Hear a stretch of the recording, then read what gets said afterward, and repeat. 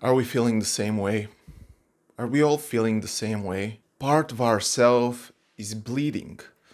We are heartbroken, and it's normal to be heartbroken because we all wanted to see that. But part of us is happy.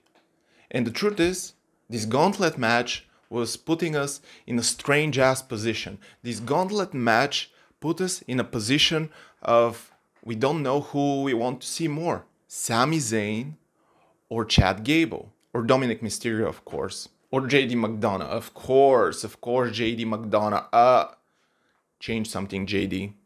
You need to change something desperately, or come over there and I'm gonna slap the freak out of you. You know? My heart is bleeding for Chad Gable. His promos were impeccable.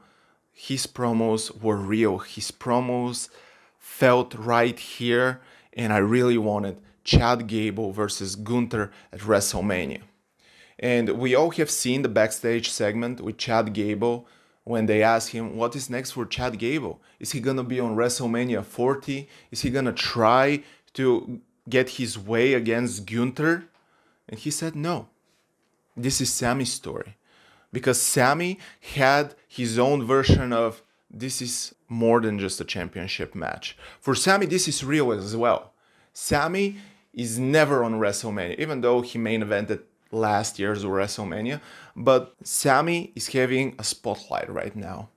But I'm pretty sure that Sami is not gonna dethrone Gunther, even though Sami is an actual contender and Sami is actually a main event superstar against Gunther, who I believe he never main evented any pay per view, but still, Sami's over there. He has a real chance but I feel like the story of Chad Gable is more satisfying for the fans, more real to the fans. It, it hits here because his daughter is small and she cried.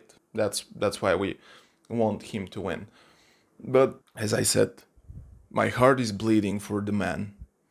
My heart is broken, my heart is torn apart, and we all have seen this image when Sami Zayn is talking to Chad Gable do you guys know what they have talked to each other? They haven't shared, but I know. I know they, what they have said to each other. Sami Zayn said, Sami Zayn? Sami Zayn said, I'm gonna give you my spot against Gunther. And I'm gonna go for the world championship, and you're gonna have Gunther 1v1.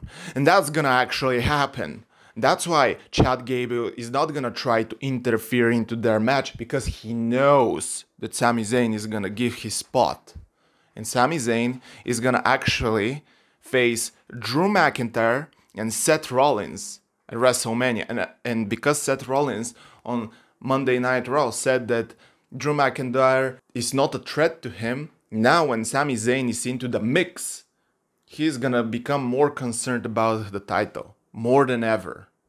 A lot of people say that Seth Rollins just demoted his title when he said that the tag team title match is more relevant for him than his own title. But I don't think this is the case. He just wanted to strike a nerve against Drew, and he almost did. And I really want the best version of Drew McIntyre. I kind of want Drew McIntyre to bring back the Scottish psychopath this is the version of Drew that I really enjoyed.